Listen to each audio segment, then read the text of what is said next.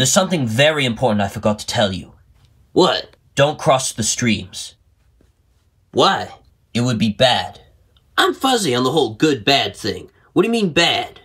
Try to imagine all life as you know it stopping instantaneously and every molecule in your body exploding at the speed of light. Total protonic reversal. Right, that's bad. Okay. Alright, important safety tip. Thanks, Meta Knight.